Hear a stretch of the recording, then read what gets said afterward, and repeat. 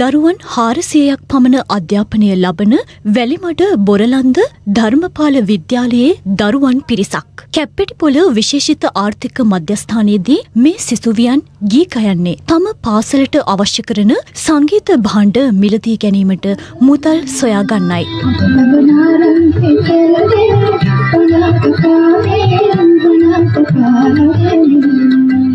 විද්‍යාලයේ ගුරුවරුන්ද දරුවන්ගේ මේ උත්සාහය වෙනුවෙන් යෝධ සෙවනැල්ලක් වී පසුපසින් සිටිනවා. පාලකයන්ගේ අවධානය යොමුවන්නේ නැති මේ උත්සාහවන්ත දරුවන් තම උපන් හැකියාවෙන් මේ ගන්නා උත්සාහය සැබවින්ම අගය කළ යුතුමයි.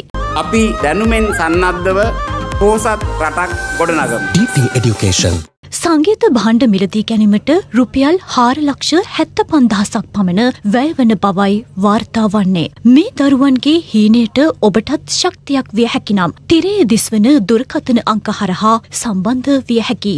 අපේ ස්කෝලේ සංගීත පළාත් තරග සමස්ත ලංකා තරග මට්ටම දක්වා ගිහිල්ලා තියෙනවා ඒත් අපිට සමස්ත ලංකා මට්ටමට මුහුණ දෙන්න පරිසරේ භාණ්ඩ නැහැ අපිත් ආසයි වාදනය කරන්න අපිත් ආසයි සමස්ත ලංකා ජයග්‍රහණ ලබා ගන්න ඒකින්ද අපිට පුළුවන් ආකාරයට ආධාරයක් කරන ලෙස ඉල්ලා සිටිනවා හාර ලක්ෂ හැත්ත පන්දහක විතර මුදලක් ඒකට අවශ්‍ය වෙනවා. ඉතින් ඒක හොයන්න අපි දැන් මේ මහන්සි වෙන ගමන් ඉන්නේ ඔයාලට පුළුවන් නම් අපිට පොඩි උපකාරයක් කරන්න.